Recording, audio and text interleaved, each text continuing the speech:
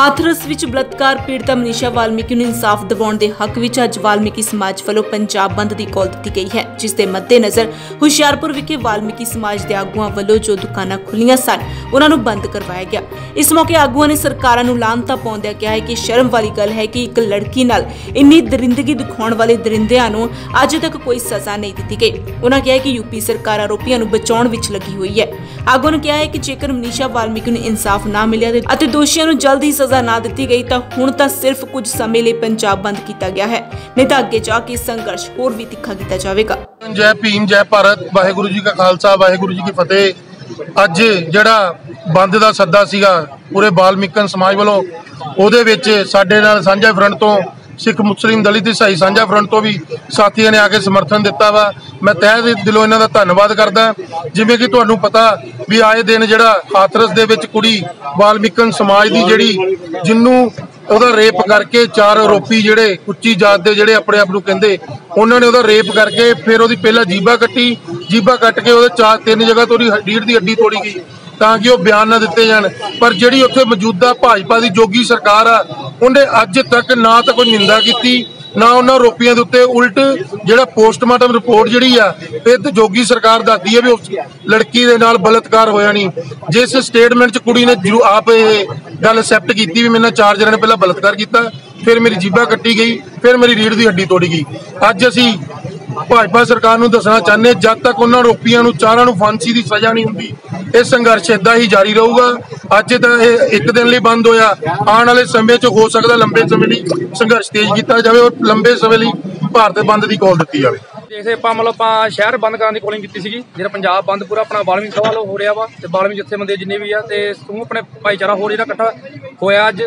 ਸ਼ਹਿਰ ਬੰਦ ਕਰਾ ਰਹੇ ਸਾਰੇ, ਮਿਲ ਕੇ ਪੰਜਾਬ ਬੰਦ ਕਰ- ਪੂਰਾ ਕਰਨਾ ਵਾ। ਤੁਸੀਂ ਦੇਖ ਰਹੇ ਜੇ ਆਵਾਜਾਈ ਅੱਜ ਨਹੀਂ ਬੰਦ ਹੋਈ ਸੀਗੀ ਤੇ ਇਸ ਕਰਕੇ ਆਪਾਂ ਇੱਥੇ ਚੱਕਾ ਜਾਮ ਕੀਤਾ ਵਾ। ਕਿ ਜਿਸ ਨਾਲ ਮਤਲਬ ਸਾਰਿਆਂ ਨੂੰ ਆਪਾਂ ਅਗਾਹ ਕਰ ਰਹੇ ਹਾਂ ਕਿ ਅੱਜ ਚੱਕਾ ਜਾਮ ਵੀ ਸੀਗਾ, ਆਪਾਂ ਆਵਾਜਾਈ ਵੀ ਤੇ ਵੀ ਰੋਕ ਲਾਈ ਵੀ ਸੀਗੀ। ਦੁਕਾਨਾਂ ਬੰਦ ਦੇ ਤੌਰ ਤੌਰ ਤੇ।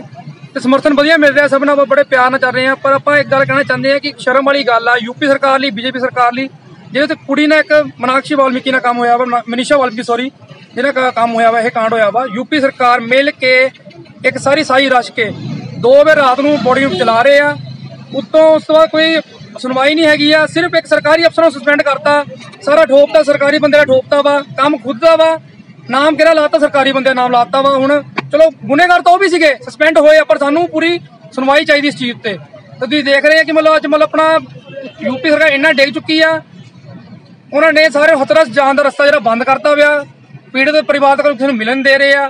ਤੇ ਉਸ ਚੀਜ਼ ਸਾਨੂੰ ਸੁਣਵਾਈ ਚਾਹੀਦੀ ਆ ਕਿ ਪਤਾ ਸੈਂਟਰ ਗਵਰਨਮੈਂਟ ਕਰਨ ਆਵਾਜ਼ ਜਾਵੇ। ਤਾਂ ਮੈਂ ਇਸ ਇੱਕ ਬੇਨਤੀ ਕਰਦਾ ਕਿ ਸਾਰਿਆਂ ਨੂੰ, ਸਾਡੇ ਨਾਲ ਰਲ ਮਿਲ ਕੇ ਸਭ ਚਲੋ, ਕਿ ਇਹ ਇਕੱਲੀ ਇੱਕ ਮਨੀਸ਼ਾ ਵਾਲਮੀਕੀ ਦਾ ਕੰਮ ਨਹੀਂ ਆ। ਇਹ ਸੋਚੋ ਕਿ ਇੱਕ ਭਾਰਤ ਦੀ ਕੁੜੀ ਦਾ ਸੀਗਾ ਇਹ ਜਿਹੜਾ ਕੰਮ ਹੋਇਆ ਵਾ। ਤੇ ਅੱਜ ਕਿਸੇ ਨਾਲ ਹੋਇਆ ਵਾ ਕੱਲ ਨੂੰ ਕਿਸੇ ਨਾਲ ਵਾਪਰ ਸਕਦਾ ਵਾ।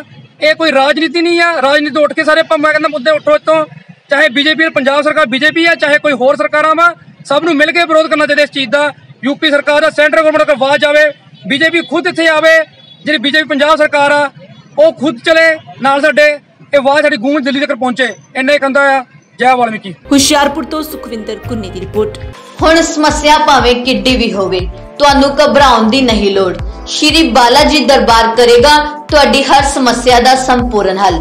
ਤੁਸੀਂ ਰੋਂਦੇ ਹੋਏ ਆਓਗੇ ਤੇ ਹੱਸਦੇ ਹੋਏ ਜਾਓਗੇ।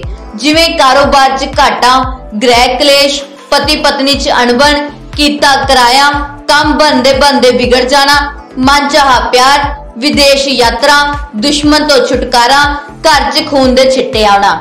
ਵਸ਼ੀਕਰਨ ਤੇ ਮੁਠਕਰਨੀ ਦੇ ਮਾਹਰ, ਪੰਡਿਤ ਮੋਹਿਤ ਕੁਮਾਰ ਜੀ। ਹੁਣ ਆਪਣੇ ਹਰ ਦੁੱਖ ਨੂੰ ਸੁੱਖ 'ਚ ਬਦਲਣ ਲਈ ਹੁਣੇ ਕਾਲ ਕਰੋ। 99158 36162 76962 09983